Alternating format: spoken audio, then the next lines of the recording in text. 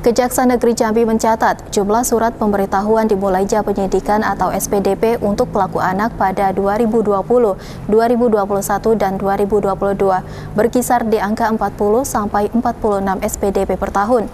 Dan dari Januari hingga Agustus 2022 sudah menerima sebanyak 9 SPDP kasus geng motor.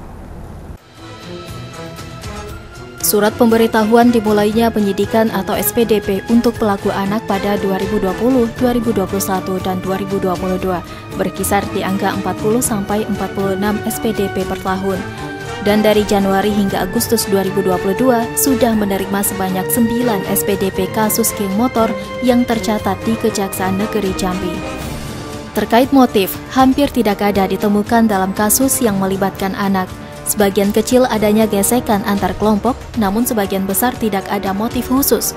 Pelaku kejahatan anak tersebut hanya ingin menunjukkan bahwa mereka eksis di dunia kriminal dan butuh pengakuan seperti jagoan, mirisnya senjata tajam yang digunakan para pelaku rata-rata dibeli secara online. Sejauh ini tidak ada motif yang ditemukan. Sejauh ini kalau ada dari misalnya ada 10 perkara itu mungkin tiga itu ada mungkin karena gesekan antar geng motor lah atau antar kelompok mereka organisasi mereka ketersinggungan ada. Di lainnya kebanyakan di mereka tanpa ada modus operandi.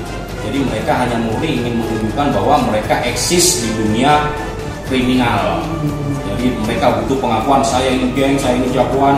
Akhirnya mereka menggunakan senjata tajam. Dan senjata tajam yang diperoleh ada beberapa perkara kami tanyakan anak-anak ini umur 14 kami tanyakan dapat dari mana senjata ini dia dengan mudahnya dapat membeli via online